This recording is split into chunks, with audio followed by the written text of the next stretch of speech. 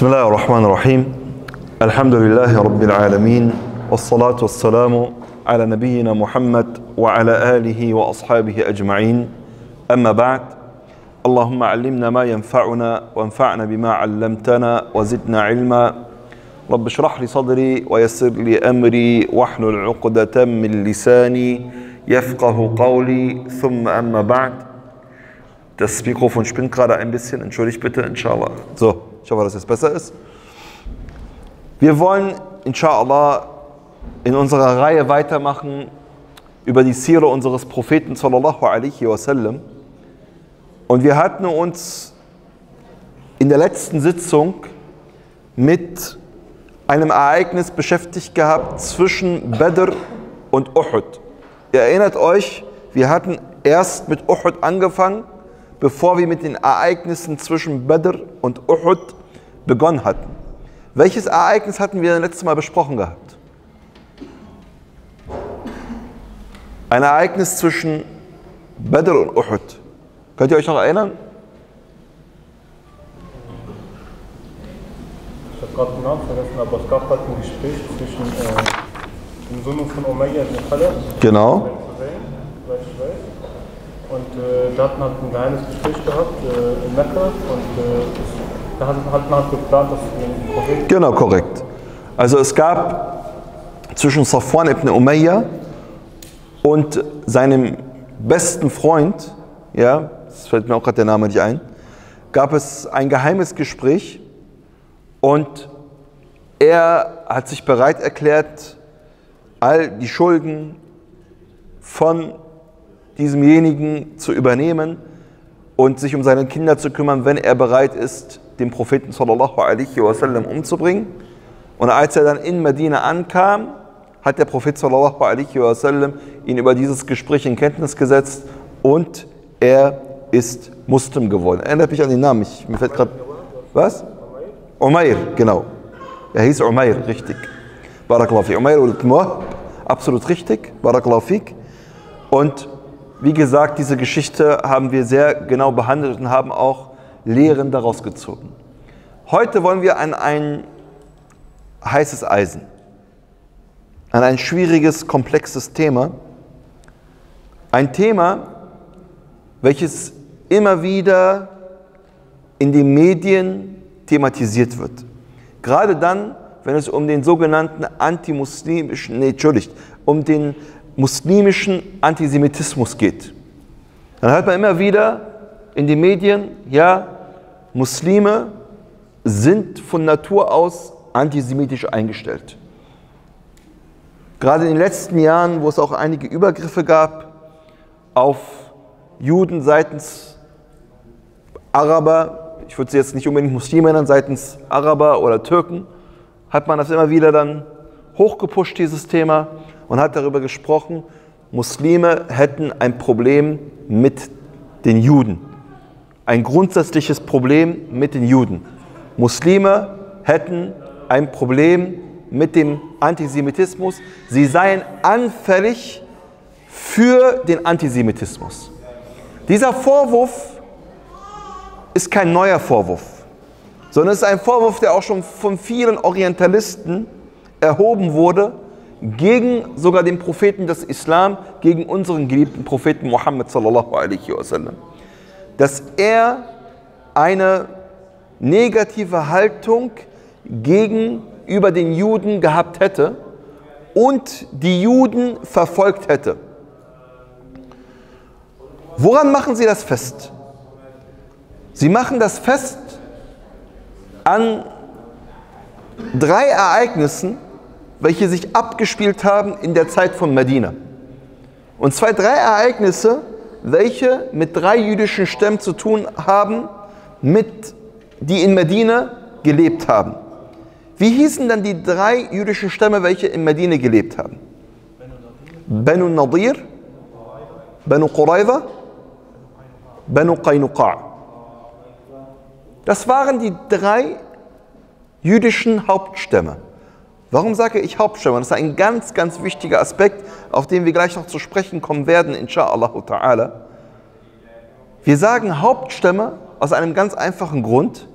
weil es noch viele andere Stämme, jüdische Stämme in Medina gab. Und dieses Hintergrundwissen ist unglaublich wichtig. In den meisten Sire-Büchern werden nur diese drei Stämme erwähnt. Jedoch, wenn man sich etwas genauer mit dieser Thematik auseinandersetzt und schaut, was die muslimischen Historiker, welche sich mit der Geschichte von Medina beschäftigt haben, über die Juden in Medina gesagt und geschrieben haben, so werden wir sehen, dass es weitaus mehr als drei jüdische Stämme gab. Es gab, wie es As-Samhudi, es ist ein bekannter Historiker, der sich insbesondere auch mit der Geschichte von Medina beschäftigt hat. Es gab bis zu 21 jüdische Stämme in Medina. Die, von denen wir hören, sind immer nur drei. Und ich erkläre auch gleich, warum wir immer nur von diesen drei hören. Es gab bis zu 21 jüdische Stämme in Medina, die auch alle bekannt waren. Die Banu Tha'laba als Beispiel, die Banu Hudl oder Buhdul, wie sie dann später genannt wurden, und andere jüdische Stämme, welche teilweise arabische Namen führten, weil man sich nicht sicher ist, ob sie judaisierte Araber sind oder ob sie wirklich abstammen von den Kindern Israels. Da gibt es lange Diskussionen unter den Historikern. Und das viel Wichtigere bei dieser ganzen Sache ist, dass diese jüdischen Stämme teilweise noch nach dem Ereignis und der Schlacht von Banu Qurayza in Medina gelebt haben.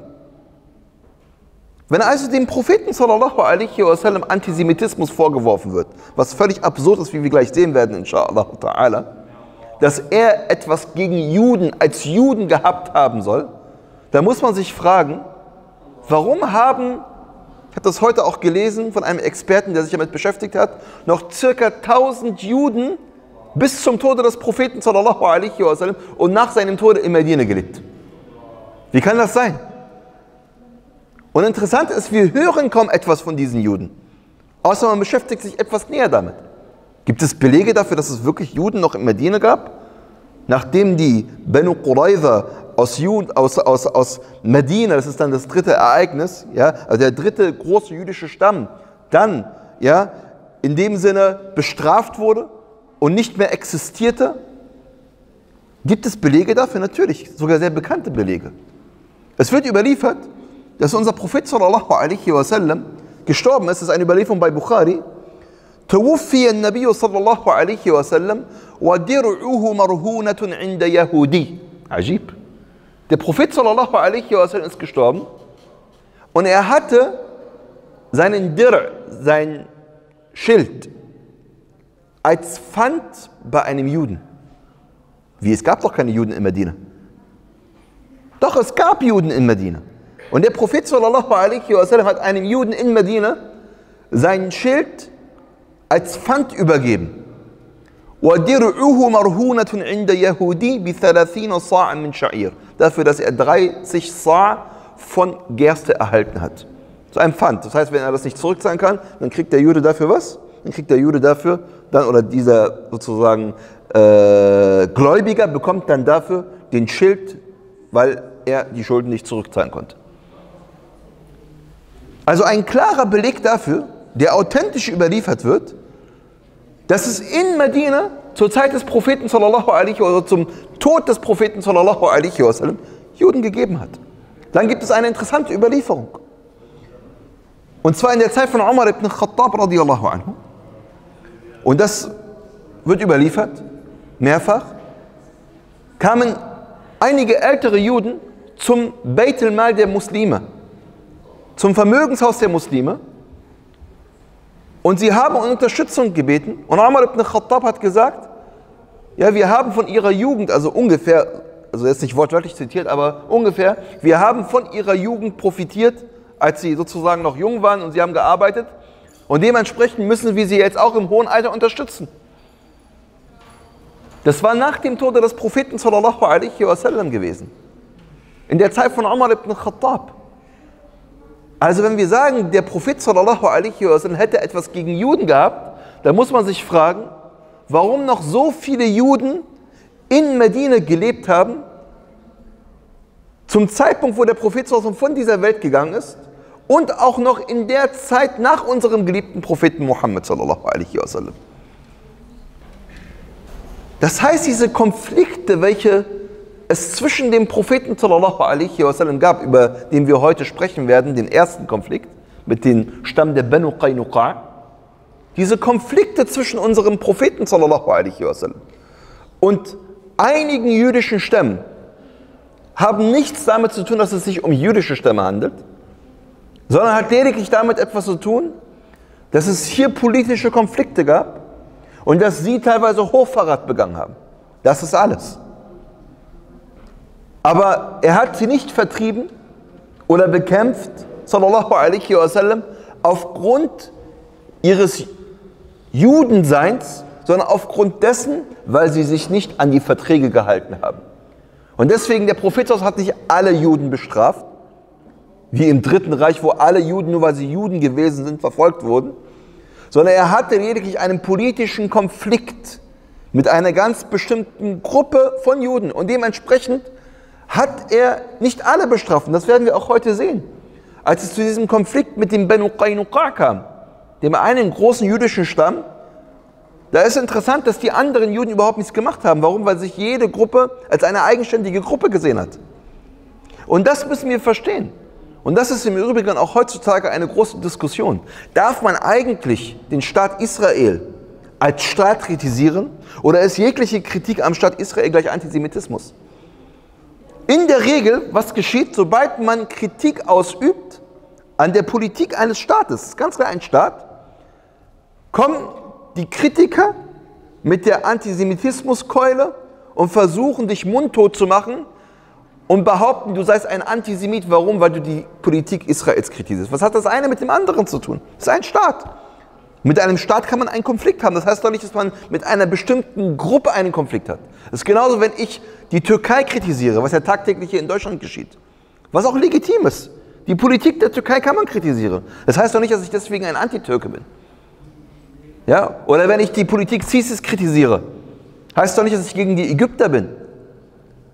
Das eine hat mit dem anderen überhaupt nichts zu tun. Ich kritisiere eine bestimmte Politik, aber ich kritisiere doch nicht deswegen alle Ägypter oder alle Muslime oder alle Christen oder alle Juden.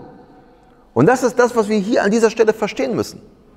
Und wenn wir uns jetzt die weitere Geschichte der Muslime mit den Juden anschauen, dann werden wir sehen, es ist eine Geschichte, auf die wir als Muslime stolz sein können.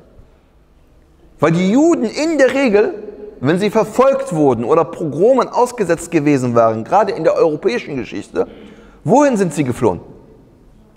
Sie sind in die muslimischen Länder geflohen. Und sie haben dort Zuflucht gefunden. Und nicht nur das, sie wurden nicht nur einfach toleriert, sondern sie waren ein fester Bestandteil der Gesellschaft gewesen. Und das ist ein ganz, ganz wichtiger Punkt. Und dementsprechend konnte auch in dieser Zeit eine jüdische Zivilisation und Kultur entstehen, welche bis heute die wichtigste Zeit für die Juden überhaupt gewesen ist. Und deswegen die größten jüdischen Denker sind in der Zeit hervorgekommen, in der sie unter muslimischer Herrschaft gelebt haben. Wer ist denn der wichtigste jüdische Vordenker überhaupt? Kennt jemand? Der wichtigste überhaupt. Es gibt einen, der ist unangefochten der wichtigste jüdische Philosoph und Vordenker überhaupt. Da sind sich alle einig. Der hat auch einen arabischen Namen. Das ist das Interessante. Musa ben Maimun. Maimonides. Den noch nie gehört? Maimonides? Ja? Schlagt mal nach, gebt mal bei Google ein Maimonides. Ja? Musa ben Maimun. Er hat sogar eine Zeit lang den Islam angenommen. Man weiß nicht, ob er dazu gezwungen wurde oder nicht. Ja? Gibt es lange Diskussionen. Aber er ist der wichtigste jüdische Philosoph überhaupt.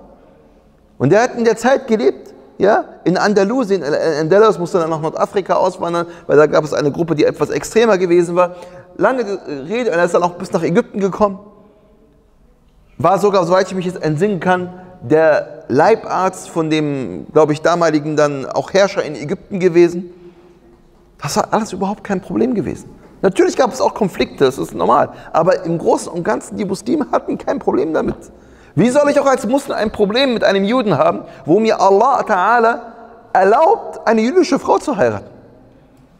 Allah Ta'ala, er sagt das klar und deutlich im Koran in Surat Al-Ma'idah, sagt Allah Ta'ala, Al-Yawma uhillu lakum at-tayyibat.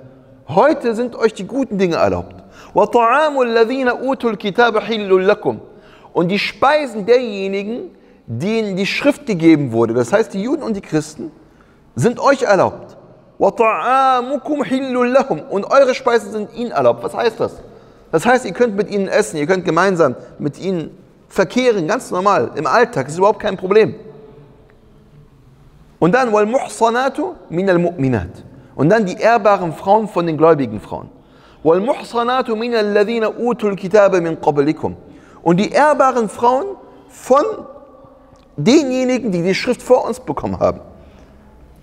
Wie soll ich bitte schön antisemitisch sein als Muslim, wenn es mir erlaubt ist, eine Jüdin zu heiraten? Das ist ein Widerspruch, das ist Quatsch. Gibt es Leute unter den Muslimen, die heutzutage antisemitisch sind? Ja, gibt es. Das wollen wir auch gar nicht verleugnen, so etwas gibt es. Es gibt auch Muslime, die sich Muslime nennen, welche auch Gewalt anwenden. Ja, auch hier in Deutschland haben wir das erlebt. Das gibt es. Das wollen wir auch nicht kleinreden. Das ist ein Problem. Aber zu behaupten, alle Muslime hätten dieses Problem. Es sei verwurzelt im Islam, in der Sira des Propheten sallallahu alaihi wasallam. Das ist völliger Unsinn. Das ist Quatsch. Und so etwas lassen wir uns nicht vorwerfen, nicht nach dieser schönen Geschichte, auf die wir stolz sein können als Muslime und die wir hochhalten sollten als Muslime. Und dass es so etwas gibt wie Antisemitismus unter Muslimen, ja, hat aber auch teilweise seine Ursachen, die das eine nicht rechtfertigen, aber trotzdem, es hat seine Ursachen, weil es nun mal einen politischen Konflikt gibt. Ja? Einen politischen Konflikt gibt, der bis heutzutage ungelöst ist und wo viel Unrecht geschieht, insbesondere gegenüber wem? Gegenüber den Palästinensern. Und das sieht jeder, der sich mit dieser Sache auseinandersetzt. Und zwar nicht nur Unrecht vor Ort, sondern international Unrecht. Das ist ja das Problem. Das heißt, man stellt sich nicht auf die Seite der Opfer, sondern man stellt sich auf die Seite der Täter. Und das ist das Problem und das ist das, was die Menschen sauer macht. Und es gibt Menschen, die nicht mehr differenzieren können. Einfache Menschen, die einfach gestrickt sind, die dann nicht mehr differenzieren können. Zwischen einem politischen Konflikt und zwischen einem Juden, der einfach nur Jude ist aufgrund seiner Religion oder seiner Herkunft. Dass man da Aufklärungsarbeit leisten muss, das besteht außer Frage. Aber ganz, ganz wichtig ist einfach, dass wir verstehen, ja, das hat mit dem Islam an sich nichts zu tun. Kommen wir jetzt, inshallah ta'ala, zu diesem Ereignis der Verbannung der Banu Qaynuqa'. Die Banu Qaynuqa' waren eine der stärksten Stämme überhaupt, der jüdischen Stämme. Und sie hatten regelrechte Schlösser und Festungen gehabt. Und sie waren Goldschmiede gewesen, das heißt, sie hatten auch Kapital, also sie waren reich gewesen. Und viele der Araber, insbesondere auch das Oberhaupt der Heuchler Abdullah ibn Ubay ibn Salul, hat sehr, sehr innige Beziehungen zu den Banu Qaynuqa gehabt. Das spielt noch eine wichtige Rolle, wie wir jetzt sehen werden, inshallah.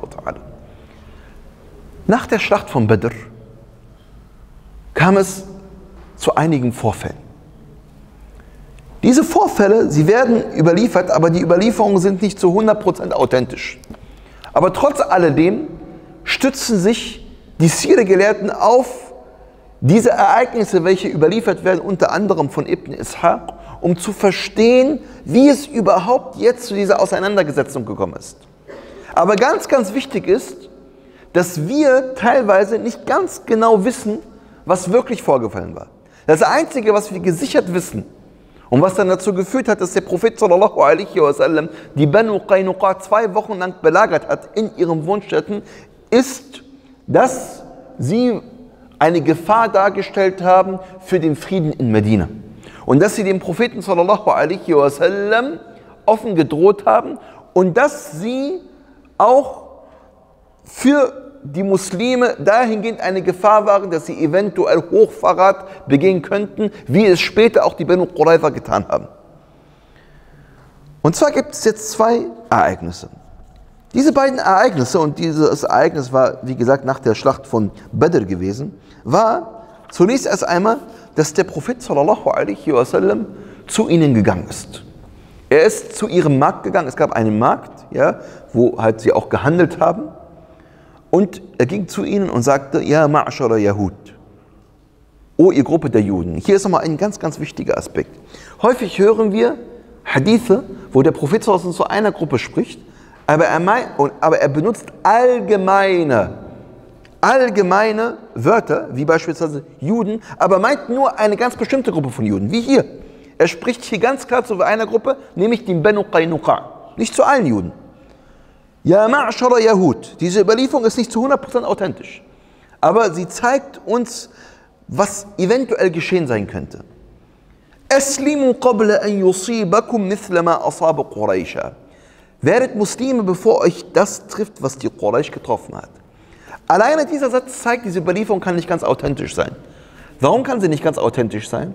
Weil der Prophet sallallahu alaihi wasallam schon aufgrund dieser Charta von Medina, dieses Abkommen, niemanden gezwungen hat, den Islam anzunehmen. Und deswegen ist diese Überlieferung zweifelhaft. Aber sie zeigt, es gab Konflikte. Und der Prophet sallallahu alaihi wasallam erwarnte sie. Und er forderte sie auf, sich an das Bündnis zu halten. Woraufhin sie geantwortet haben, Ja Muhammad, la yaghurrannaka min nafsika annaka qatalta nafaran fi Quraysh. Du brauchst das gar nicht anzugeben nach den Worten. Ja? Und glauben, dass du, nur weil du hier die Quraysh besiegt hast in einer Schlacht, dass du uns besiegen kannst. Wir sind die wahren Männer. Wenn du gegen uns kämpfen würdest, wir würden dich besiegen. في قريش كانوا أغمارا لا يعرفون القتال die Quraysh, die wissen nicht, wie man kämpft. إنك لو قاتلتنا لعرفت أن نحن الناس wenn du uns bekämpfen würdest, dann würdest du wissen, dass wir die Männer sind. وأنك لم تلقى مثلنا und dass du noch nie auf Leute gestoßen bist wie wir. Also gegen uns hast du keine Chance. Sie haben den Propheten sallallahu alaihi wasallam klar und deutlich gewarnt, obwohl es ein Abkommen gab. Sie haben dieses Abkommen auch unterschrieben. Und trotz alledem haben sie dem Propheten sallallahu alaihi wasallam gedroht. Es gab jetzt noch ein zweites Ereignis. Das ist auch nicht ganz authentisch überliefert. Aber es zeigt, ja, wie angespannt die Situation in Medina gewesen war. Und wie gefährlich die Situation in Medina gewesen war. Und dass unser Prophet wasallam in gewisser Weise handeln musste. Es blieb ihm nichts anderes übrig. Und zwar wird überliefert, dass eine muslimische Frau auf den Markt der Banu Qaynuqa ging. Sie wollte wahrscheinlich Gold kaufen oder ähnliches. Und als sie dann beim Händler war, hat sie sich gesetzt und da haben einige der Männer was gemacht. Sie haben ihr Gewand ja, verbunden mit dem Stuhl, auf dem sie saß. Und als sie dann aufgestanden ist, wurde sie entblößt.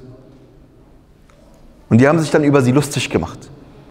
Es war gerade ein Muslim vor Ort gewesen. Als er das gesehen hat, wollte er der Frau zur Hilfe eilen, hat sich auf diesen Mann gestürzt oder einen derjenigen, die da gelacht haben und die das gemacht haben und hat ihn getötet. Woraufhin sich die Juden dann auf ihn gestützt haben und ihn getötet haben. Das war der Tropfen, so wird das überliefert, aber wie gesagt, es ist nicht zu 100% gesichert. Aber die Situation war sehr angespannt und das war wahrscheinlich der Tropfen gewesen, der das Fass zum Überlaufen gebracht hat. Was hatten die Juden dann unterschrieben gehabt und auch die, Quraysh, äh, die Medinenser im Allgemeinen? Dass sie den Propheten sallallahu alaihi wasallam als Autorität anerkennen, wenn es zu Konflikten kommt. Dass sie aber einfach jemanden umbringen, das ist ganz klar ein Vertragsbruch. Eindeutig. Neben all den anderen Drohungen, die vorgefallen sind und wahrscheinlich auch Dingen, von denen wir überhaupt nichts wissen, weil sie nicht überliefert wurden, hat der Prophet sallallahu alaihi wasallam sich jetzt dazu entschieden, die Wohnstätten der Banu Qaynuqa zu belagern. Aber was machte er vorher? Bevor der Prophet sallallahu alaihi wasallam das tat, und wie gesagt, dass der Prophet sallallahu alaihi wasallam die Banu Qaynuqa belagerte, das wird authentisch überliefert. Aber die ganzen Einzelheiten sind jetzt wiederum nicht authentisch überliefert worden. Und hier gibt es eine ganz klare Regel, die ihr euch merken müsst, wenn es um diese Sire geht. Solange die Überlieferungen, welche überliefert werden, über diese ganzen historischen Details, keine Themen behandeln, aus denen wir Muslime Fundamente unseres Glaubens herleiten können. Oder ganz wichtige Fiqh-Normen, das heißt Ahkam, herleiten können, wie Halal und Haram, kann man sich auf diese Schilderungen, auch wenn sie nicht zu 100% authentisch überliefert werden, stützen. Warum? Weil sie uns nämlich erklären, wie ungefähr das Ganze abgelaufen sein muss. Weil wenn wir uns immer nur auf zu 100% authentische Überlieferung in der Sire schützen würden, dann würde uns vieles an Material fehlen. Wir müssten einen Großteil des Materials, was uns zur Verfügung steht und was uns den Rahmen der Sire erklärt, einfach zurückweisen. Und das kann ein Historiker nicht tun. Und auf jeden Fall wird jetzt überliefert, dass der Prophet sallallahu alaihi wasallam, bevor er sie belagert hat, was getan hat? Er hat sich an seinen Vertrag gehalten. Und das hat der Prophet sallallahu immer getan. Er hat das umgesetzt, was Allah von ihm verlangt hat, nämlich nicht vertragsbrüchig sein. Er hat nämlich ganz offiziell das Abkommen gekündigt. Er hat sie nicht einfach belagert und dann gesagt, ich werde das Abkommen jetzt kündigen, sondern er hat sie vorgewarnt, er hat gesagt, hat jemanden hingeschickt und hat gesagt, der Vertrag zwischen uns ist beendet. Es besteht kein Vertrag mehr. Und erst dann hat der Prophet sallallahu alaihi wasallam sie belagert. Und das ist das, was Allah subhanahu wa ta'ala auch klar und deutlich von unserem Propheten sallallahu alaihi wasallam verlangt hat.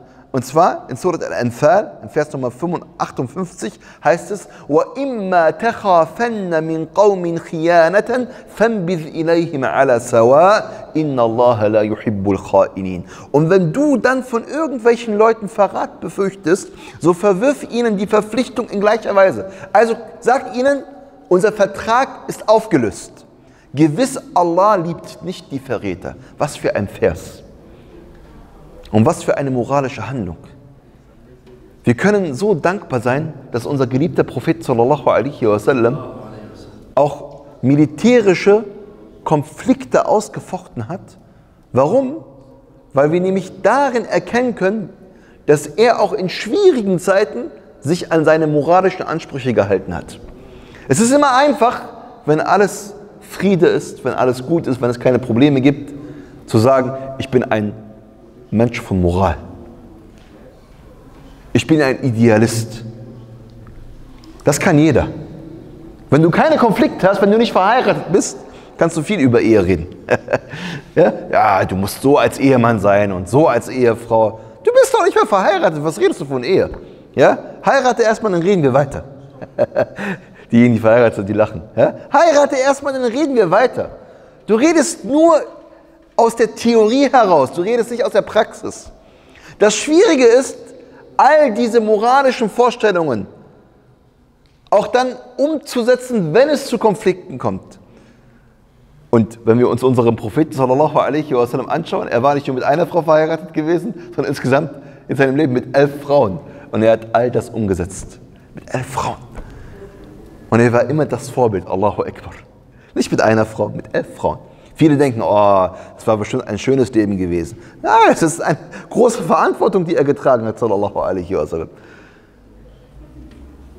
Und unser Prophet, sallallahu alaihi wasallam, ganz, ganz wichtig, damit wir das auch verstehen, er hat Kriege geführt und er hat sich in diesen Kriegen an all diese moralischen Maßstäbe gehalten, an die man sich heutzutage nicht hält. Guckt euch mal die Kriege heutzutage an.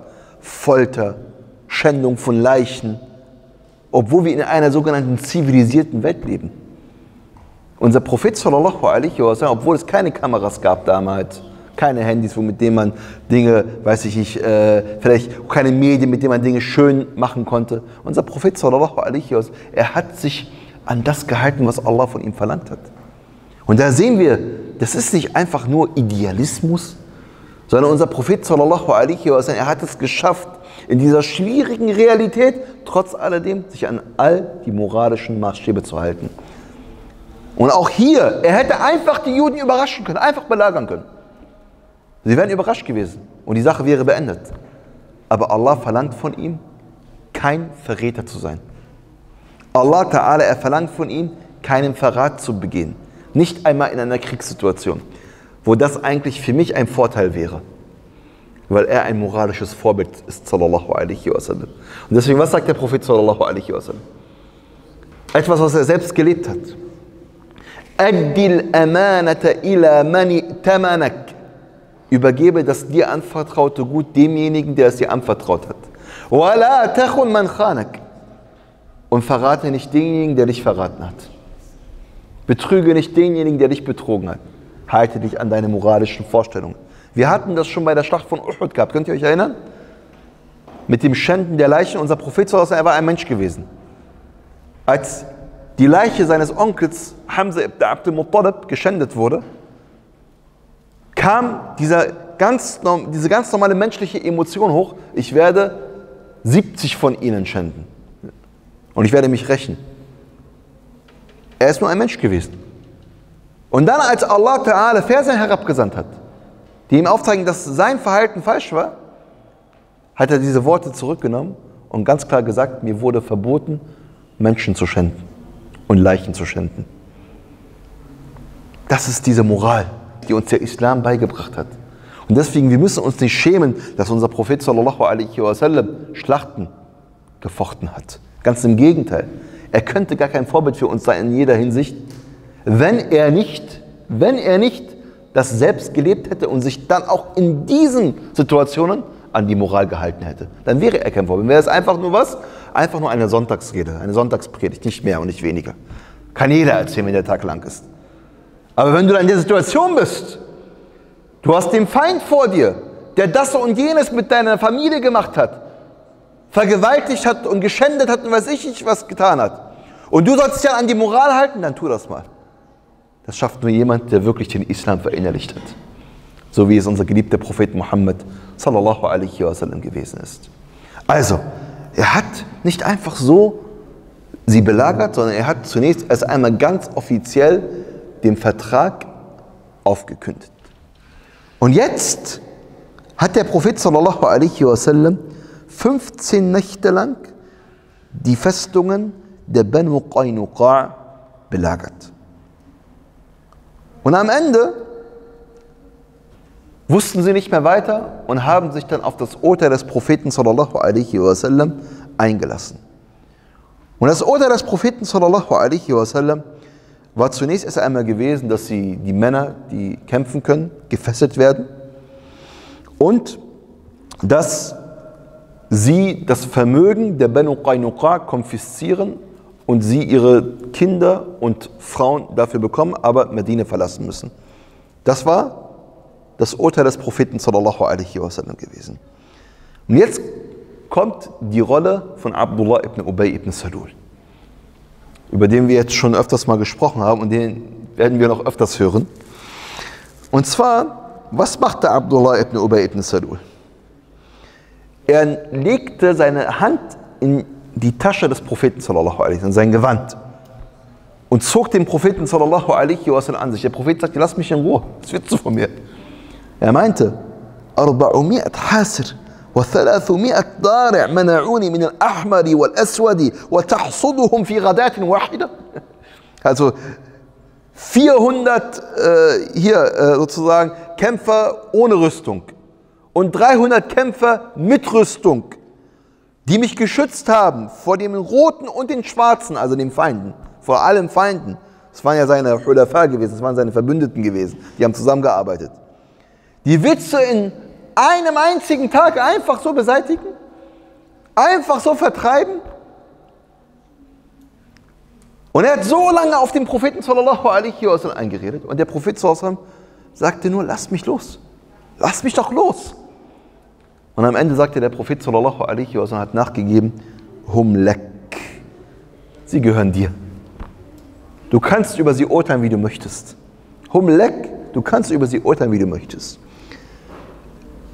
Aus dieser Situation lernen wir etwas ganz, ganz Wichtiges. Warum haben die Sahaba in diesem Moment nicht reagiert? Wir kennen ja immer Überlieferungen von Omar ibn Khattab, dass er gesagt oh Gesandter Allahs, lass mich ihnen den Kopf abschlagen.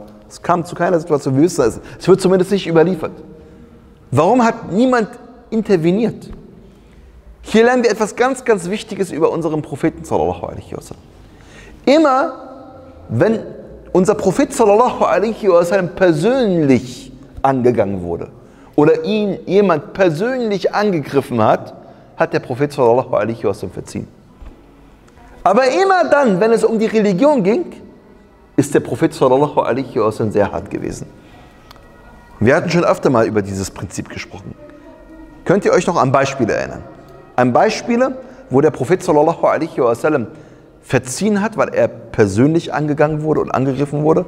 Und Beispiele, wo der Prophet sallallahu alaihi wasallam sehr strikt war, weil es sich hier um die Religion handelt. Ein Beispiel ist bei der Eroberung von Mekka zum Beispiel, hat er vielen einfachen ja, verziehen hat. Ja, der, bei der Eroberung von Mekka hat er den meisten Menschen verziehen, selbst wenn sie ihm persönlich was angetan haben. Als einmal jemand gestohlen hat, Osama gesagt, kam zwischen und hat gesagt, er hat, hat viel weil Genau, das ist dann das gegenteilige Beispiel. Ja? genau dann hat er Osama gesagt, äh, bei Allah, wenn, wenn Fatima mit Muhammad Genau. ihm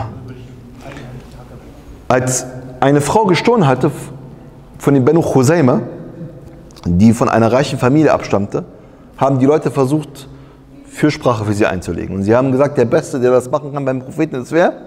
Ist Osama ibn Zayd. Und dann ging Osama ibn Zayd, er war noch jung gewesen, zum Propheten sallallahu alaihi wasallam und sagte, Gesandter Allahs, guck mal, das ist eine reiche Frau und kommt aus einer edlen Familie, wir sollten eine Ausnahme machen, also sie nicht bestrafen. Also nicht ihr die Hand abschlagen, mit anderen Worten. Woraufhin der Prophet so zornig wurde, wie er selten zornig wurde.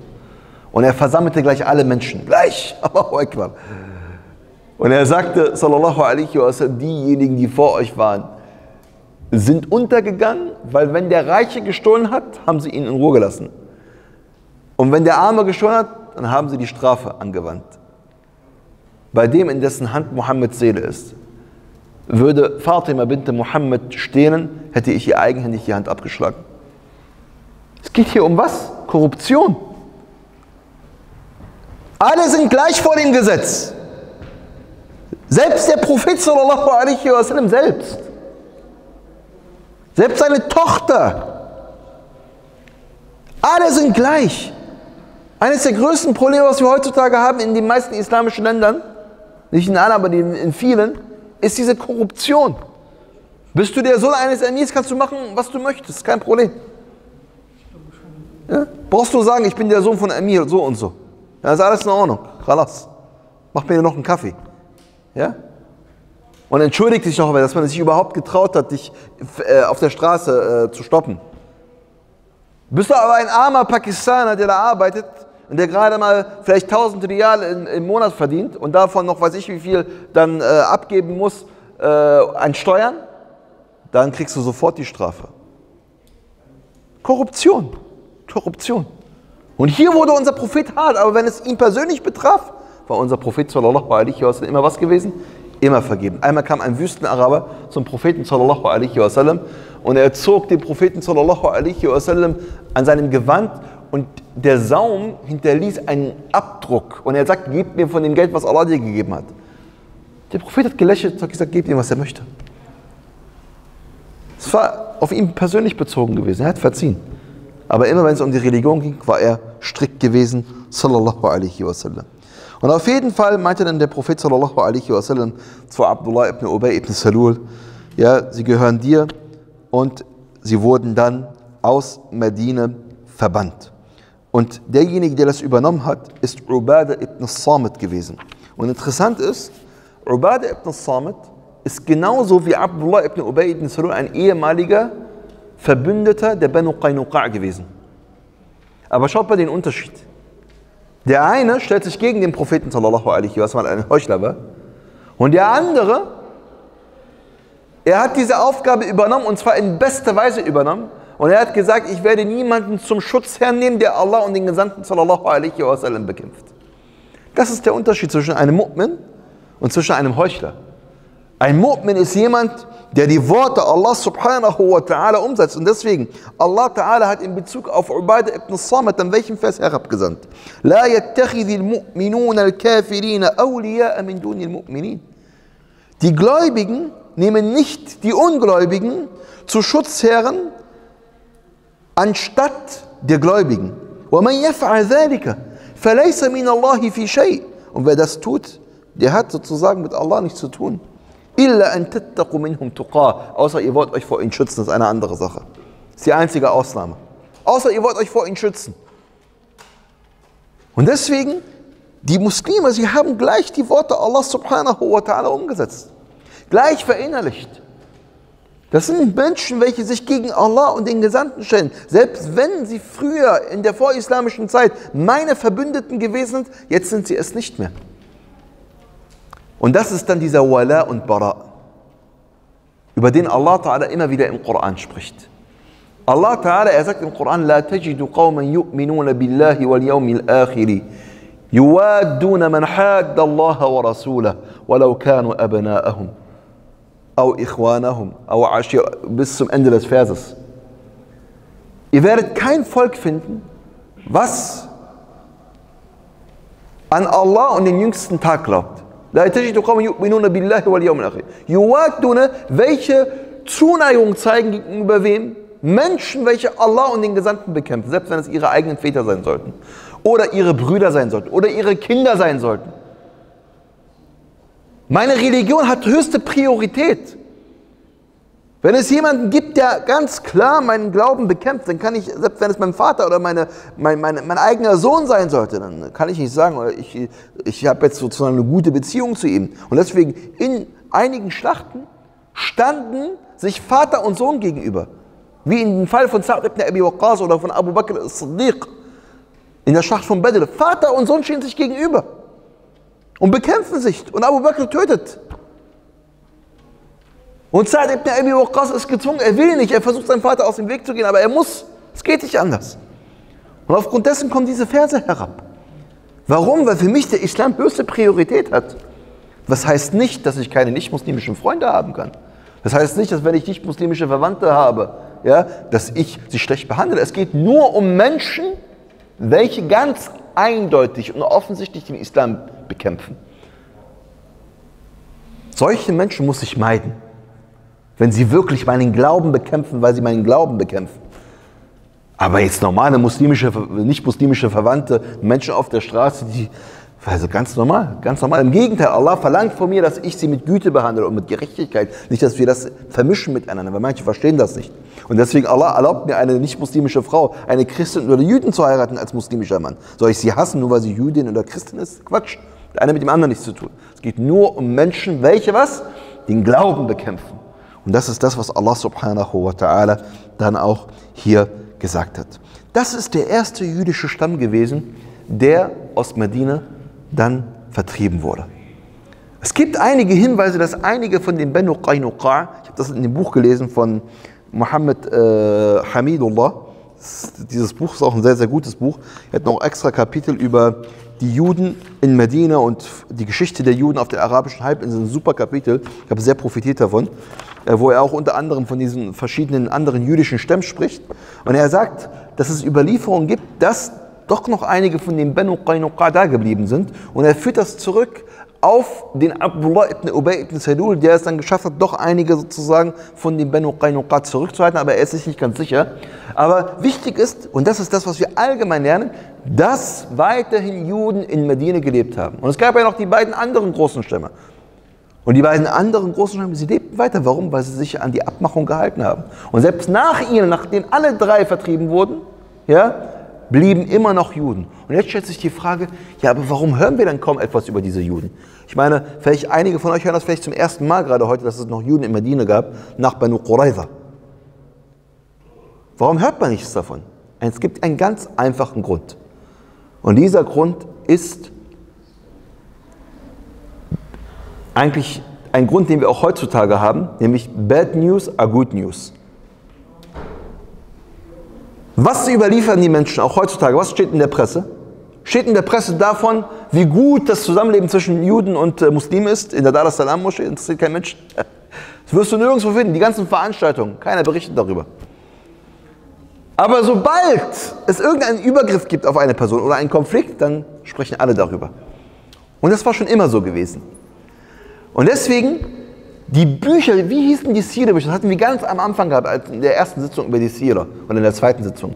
Wie hat man die Sira-Bücher früher genannt? Ich muss mir sagen, wann Adhan ist. Ja? Was? Acht Minuten. Wie hat man die Sira-Bücher früher genannt? Oder wie nennt man sie auch heutzutage noch? Ja? Kutub al-Maghazi. Al-Maghazi, was heißt denn Al-Maghazi? Schlachten. Das Einzige, was überliefert wird, sind die Schlachten. Kein interessiert es, wie die Menschen im Friedlichen zusammengelebt haben. Wen interessiert das? Es interessiert kein Menschen. Man will wissen, wo kam es zur Schlacht. Und deswegen, heutzutage im Geschichtsunterricht, was lernen wir über die Geschichte Deutschlands? Erster Weltkrieg, Zweiter Weltkrieg, nichts anderes. Ja? Immer nur Erster Weltkrieg, Zweiter Weltkrieg. Meine Tochter ja, schreibt morgen eine Klausur, ja? Erster Weltkrieg. Das ist das, was wir lernen. Ja? Wir lernen immer in der Regel nicht über das alltägliche Leben der Menschen, sondern wir lernen immer, das, was überliefert wird, sind die großen Schlachten, die großen Ereignisse. Und deswegen, wenn wir uns wundern, warum wird dann über das Sire nichts geschrieben, über das Zusammenleben der Juden und Muslime, die friedlich miteinander zusammengelebt haben, es gab nie Probleme, der Prophet hat mit ihnen gehandelt, er hat ihnen sogar Geld, hat Geld geliehen von ihnen, warum wird das alles nicht so hervorgehoben? Ganz einfach, weil das niemand interessiert.